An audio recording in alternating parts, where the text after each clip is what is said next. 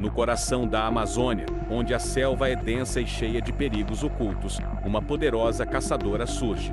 A onça, um dos predadores mais temidos das florestas brasileiras, caminha silenciosa, pronta para atacar. Ela avista presa uma cobra imensa deslizando entre as folhas. A batalha é inevitável. A onça se lança em um salto ágil, mas a cobra é rápida e resistente, enrolando-se ao redor da onça, tentando escapar e se defender. Após uma luta feroz e cheia de tensão, a onça usa sua poderosa mandíbula para vencer a resistência da cobra. A natureza, com sua força bruta, revela quem é o verdadeiro rei da floresta.